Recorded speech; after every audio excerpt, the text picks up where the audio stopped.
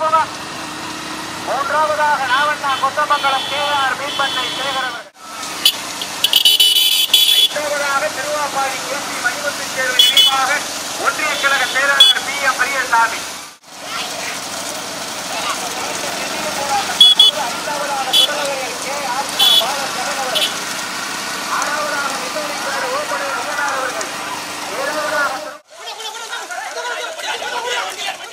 வருது வருது வருது. புதுக்கோட்டை மாவட்டம் தாலுகா கே ஆத்மா பால ஜெகன் அவர்களுடைய மாடு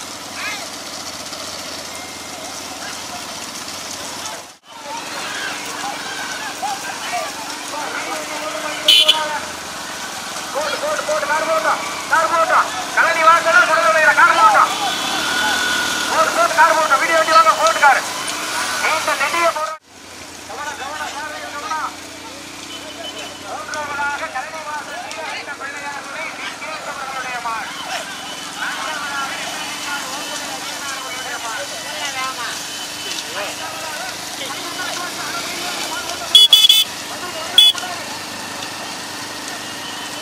தற்பொழுது முதலாவது கழனி வாசல் இரண்டாவதாக இருந்து